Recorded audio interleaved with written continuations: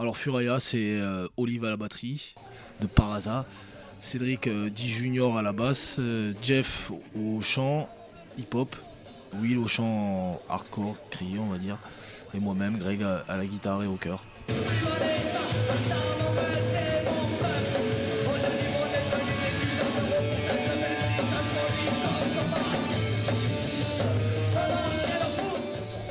On joue ensemble depuis, depuis 4 ans maintenant, on s'est formé en 2002.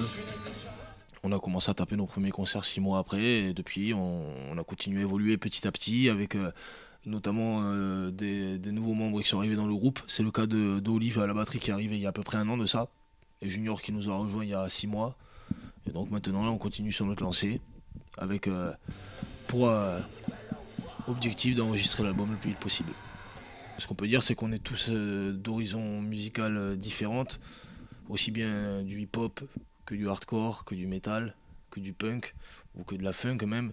Mais ce qui est sûr, c'est qu'on a tous un point commun, c'est qu'on a un goût prononcé pour la musique qui a vraiment quelque chose à dire. On est tous fans de plein de groupes, euh, notamment pas mal de groupes américains. Et c'est vrai que des fois c'est décevant quand vous penchez un peu sur les paroles de voir que finalement, que finalement les textes veulent pas dire grand chose. Euh, nous, on essaye d'aborder euh, des, des thèmes qui peuvent paraître peut-être classiques, mais on le fait à notre façon avec le maximum de clairvoyance possible. On aborde, toujours les choses avec beaucoup de rage, mais ça reste positif en fait. C'est pas, pas de la haine.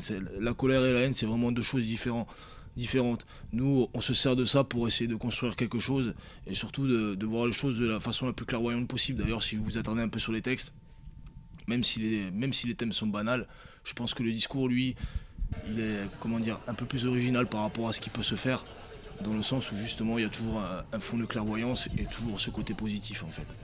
Le message, c'est euh, si vous avez la rage, si ça va pas, s'il y a plein de choses qui vous révoltent, c'est pas de baisser les bras, c'est pas de tomber dans la haine, c'est de se battre et de construire quelque chose. Et de le dire d'une façon ou d'une autre. Ça changera peut-être pas les choses, mais au moins ça vous changera à vous. Et nous, on essaie de le faire comme ça sur scène, d'arriver sur scène comme on est dans la vie et comme, euh, on ressent les choses. Donc je pense, euh, après, c'est ce qu'on nous dit. Nous, on est sur scène, on fait le truc, on est dedans, on s'en aperçoit pas comme les autres, mais c'est vrai que c'est quelque chose qui revient souvent, qu'on nous dit souvent.